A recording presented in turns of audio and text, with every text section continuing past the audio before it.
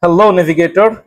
In this video we'll be talking about the static electricity on board tanker ship. Uh, our concern is what we must know as a minimum to ensure safe operation on board a ship. So let's directly get into the topic. Static electricity is created or produced by friction that occurs between dissimilar materials during relative motion.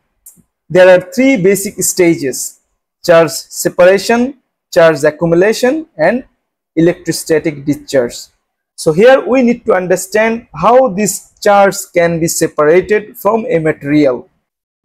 Atom is the core part of any material. Atom looks like a small ball where the nucleus or the center is having a positive charge and around it there is negative charge that is called electron. And these electrons are like floating around the center or the nucleus. These electrons tends to jump from this place to another place with the outside influence. That is the core thing we need to understand. When the cargo passes through the pipeline as the cargo is a liquid item and the pipeline through which it is passing can be like made of steel. And when these two material get friction then the electrons get released from both of this material.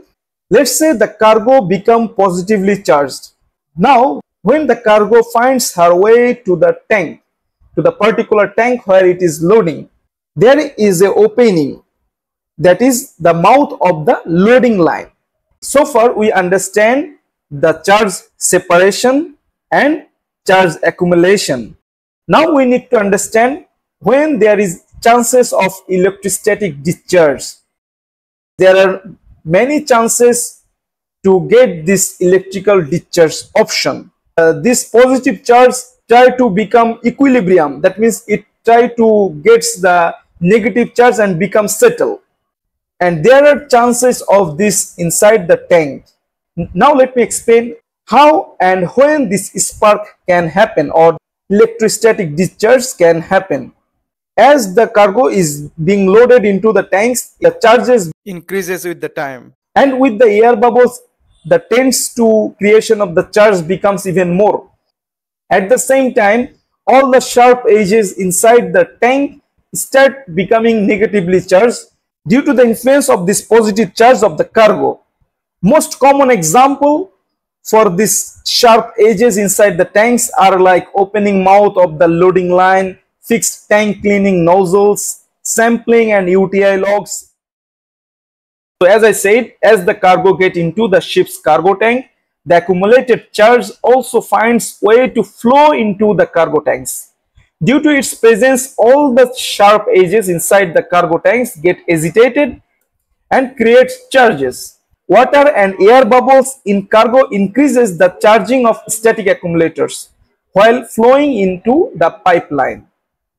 This can further increase by the subsequent movement of water settling within the cargo electrostatic discharge occurs when there is sufficient voltage difference between the positive and negative charges.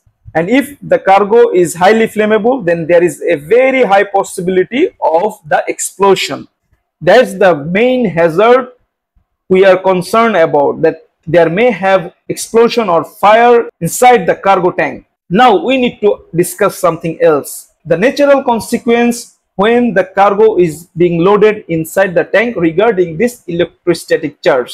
What happens basically with the time it gets settled. Number one, merge negative and positive charges together and number two, earthing or grounding take place through the ship's hull. How it happens? It happens through the conductor. Every charge finally it goes to the earth. Most reliable final destination for this charge so that are the two ways uh, to settle down. Now question is how long it takes to settle down. It takes about 30 minutes for a, a medium sized tanks in a tanker ship. That is why the industry suggests us to wait for at least 30 minutes.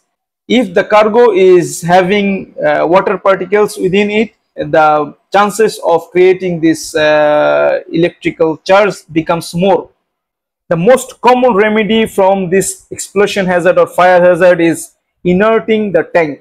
Inerting the tank means to keep the oxygen content inside the tank below 8% which will not allow any kind of spark to generate the fire. So this is how we can remain in the safe side. In this video and I hope to meet you in the next video.